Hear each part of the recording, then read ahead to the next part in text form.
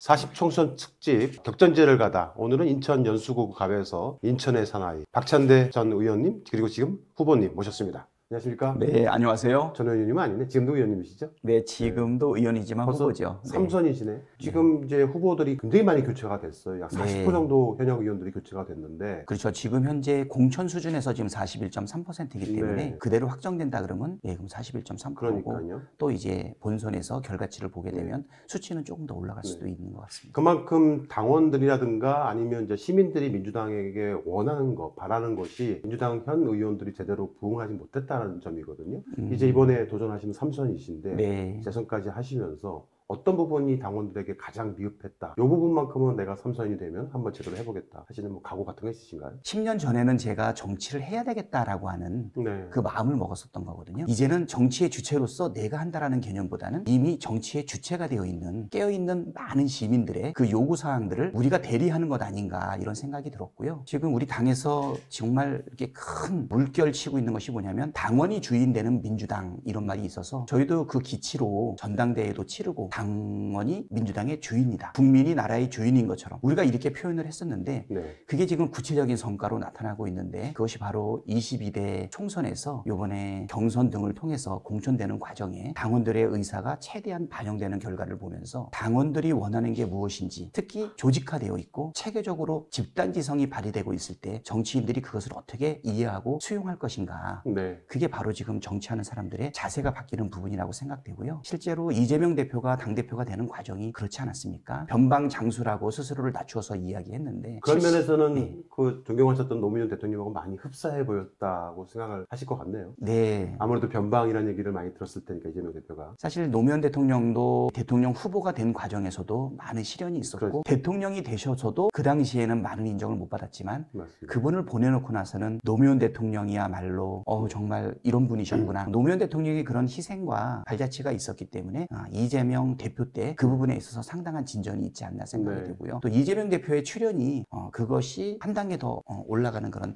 단계가 되는 것 같습니다 많은 사람들이 뭐 친명 비명 뭐 또는 반명 이런 식으로 구별해서 갈등을 유발하고 있는데 그것은 국회의원 중심의 당 운영이 결국은 당원 중심의 당 운영으로 바뀌어 나가는 과정 속에서 발생하는 네. 불가피한 마찰적 갈등이다 네. 이런 생각이 들고요. 이재명이 우리 당의 중심이다가 아니라 당원이 전폭적으로 지지해서 세운 민주당의 깃발이 네. 이재명이다. 네. 또 특히 지금은 윤석열 대통령의 이 폭정, 이 무모하고 무책임하고 무식한 이 국정 운영을 어떻게 해서라도 심판해야 된다라고 하는 그것으로 이재명 대표를 수장으로 해서 똘똘 뭉쳐야 될 때라는 것을 네. 분명하게 보여줬고요. 초기 공천 과정에서는 아무래도 뭐 말들이 나온다 어쩐 데서 흔들림이 있었는데 지금 결과적으로 놓고 보니까 어, 너무 훌륭한 공천이었다. 그러게요. 네. 이런 생각이 듭니다. 자, 이종섭 전 장관 얘기 좀 하겠습니다. 바다 못해서, 예, 뭐, 못 이기듯이 호주에서 들어왔습니다. 세상비용 그 외압 의혹 관련해 가지고 결국에 이제 대통령실에서 음. 모든 게 다 전투지가 된 걸로 다 밝혀지고 있는 상황인데요. 현재 이종섭 의원, 장- 장관은 어디에 있는지 제대로 알려지지도 못하고 있는 상황인 거고, 이 문제는 특검으로 꼭 가야 한다고 생각을 하거든요. 어떻게 생각하시죠? 저도 결국은 뭐 특검으로 가야 된다고 봅니다. 네. 공수처가 그 역할을 할 수 있을까? 얼마 전에 대통령실에서 사건 관련해서 네. 자그마한 사고 가지고라고 말을 한 거 들어보셨죠? 네. 대통령실의 인식이 어떤지 뻔히 드러나는데. 아, 이런 거로 사단장이 옷을 벗으면 누가 장군을 하나 그러니까요. 그 인식도 마찬가지고요. 네. 나라를 지키기 위해서 네. 정말 헌신하다가 희생된 음. 장병의 억울한 죽음의 책임을 규명하기 위한 조사 자체를 네. 대통령실에서 조직적으로 지금 받고 있는 것 아니겠습니까? 네, 네. 결국은 호주 대사를 이렇게 보게 되면 빨리 해임하고 그다음에 진실 규명을 위한 네. 공수처 조사가 되든 우리 박정훈 대령이 받고 있는 군사 재판에 음. 증인으로 참석을 하든 그렇지만 지금 대통령실이라든가 이들의 자세를 봤을 때는 불가능할 것 같고요. 네. 특검이 결국은 안답 아닌가 네. 이렇게 생각이 됩니다. 대표적인 친명계 의원으로 불려지기도 합니다만은 저는 개인적으로 친명이니 음. 반명이 이런 개파 정치는 별로 좋아하지 않아서 물론 많은 언론들이 그렇게 나누고 있긴 하지만은 그렇다고 해서 친명이 또 아니라고 부인할 수는 없는 것 같고 네. 어찌됐든 최고위원으로서 네. 당 대표님과 활동을 하면서 아 이 이재명이라는 사람이 내가 처음 만났을 때하고 지금의 이재명하고 어떤 부분이 많이 달라졌고 또 얼마 전에 뭐 아시다시피 유시민 전 장관께서도 그런 말씀을 하셨잖아요 이 사람은 달라지는 사람이고 변하는 사람이다 개발도상인. 예, 그런 말을 많이 많이 했었는데 저도 제가 예전에 알던 이재명 대표하고 지금하고 음. 비교해 보면 굉장히 많이 변하신 것 같거든요. 물론 좋은 쪽으로. 네. 어떻게 생각하십니까? 저도 뭐 동일한 생각입니다. 결국 민주당의 그 정치의 목표와 지향을 위해서 음. 지금 깃발이 되고 있는 대표를 중심으로 특히 지금은 윤석열 정권에 대한 정확한 네. 심판이 요구되고 있는 시점이기 때문에 네. 똘똘 뭉쳐서 싸워야 될 것 같고요. 네. 야당은 뭉쳤을 때 승리하지 않습니까? 네.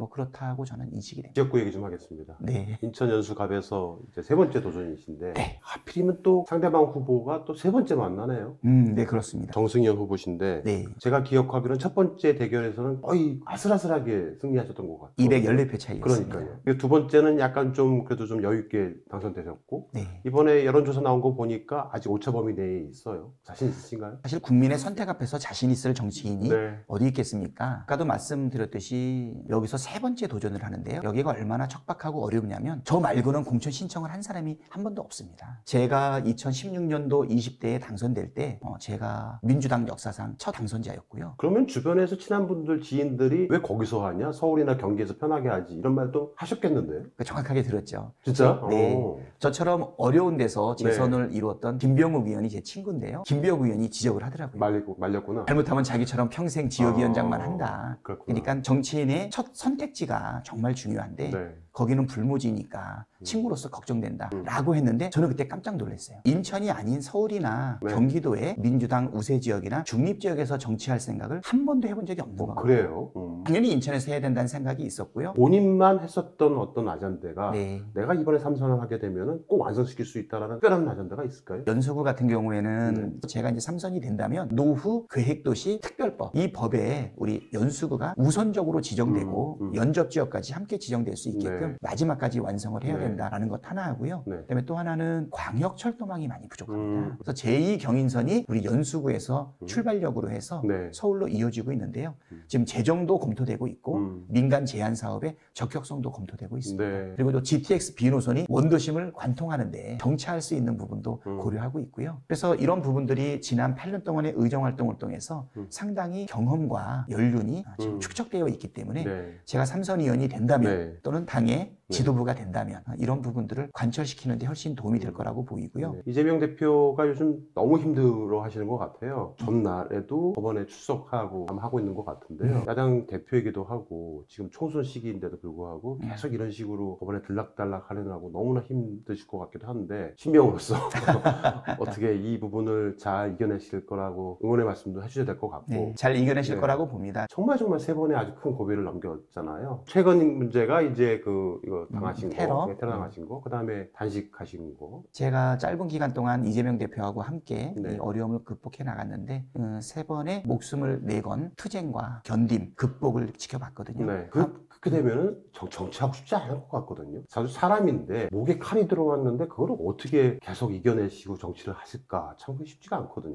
이번에 인천에도 우리 옥년시장, 미추홀시장, 그다음에 신기촌 시장으로 오셨는데 네.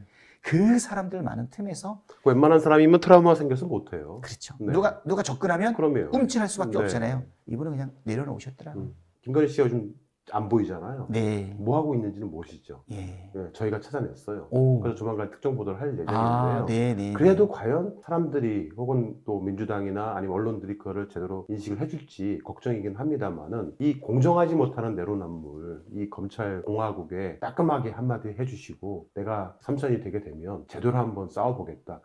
야수롬이 많이 없어졌다는 얘기 많이 듣잖아요 민주당이 그걸 한번 앞장서서 해보겠다 이렇게 한번 네. 말씀해 주시죠. 네. 이 불공정을 바라보면서 그리고 이제 그들은 이거를 가릴 수 있다고 생각하는데 가리지 못해요. 네, 나는 이 국민들이 이번 총선을 통해 가지고 음. 분명하게 심판을 할 것이라고 네. 보이고요. 그리고 이번에 이제 총선의 결과를 아마 보시게 되면 윤석열 정부에 대한 국정 기조를 바꾸지 않으면 견딜 수 없을 정도 음, 강력한 투쟁이 일어나야 네. 될 거라고 보고요. 네. 과연 우리 대한민국이 이거를 3년을 더 버틸 수 있겠냐? 네, 2년만 해도 이렇게 경제 시스템, 네. 외교, 평화, 민생 경제 모든 게 망가졌기 때문에 네. 제가 볼 때는 윤석열 대통령 국정 기조를 바꿀 가능성이 없을 음. 것 같아요. 윤석열 정권을 심판하기 위해서 모이고 있는 네. 모든 우리 야권 세력들은 음. 하나가 돼서 국민의 기대에 부응하는 분명한 정치적 행동과 네. 결과를 이끌어낼 거라고 생각합니다. 알겠습니다. 지역구 국민들을 위해서도 네. 내가 이번에 삼선에 됐게 되면은 꼭 지역구를 위해서 이거 하나만큼은 확실하게 마무리 짓겠습니다. 한 말씀 해주시죠. 사랑하는 연수가 주민 여러분, 저를 뽑아주시고 키워주시고 여기까지 지지해주신 우리 유권자 여러분께 감사를 드립니다. 지금은 지역 일꾼을 뛰어넘어서 민주당을 대표하는 최고위원으로까지 성장을 했습니다. 그렇지만 중앙 정치에만 매달리지 않고 우리 지역에 저를 뽑아주신 분들의 그 민원과 어, 요구 사항에 대해서도 늘 균형감을 잃지 않기 위해서 노력하고 있습니다. 우리 연수갑 주민들이 바라는 지속 가능한 도시, 결국은 노후 신도시에 대한 계단 이적 정비를 어떻게 해나갈 것인가, 분명한 해결책과 방법을 제시할 것이고요. 광역교통망에 대한 부분도 확실하게 방법을 제시하겠습니다. 수인선 청학역 신설, 제2경인선 출발절인 청학역 신설, GTX 비노선 수인선 환승, 그리고 인천 지하철 2호선 연장선, KTX의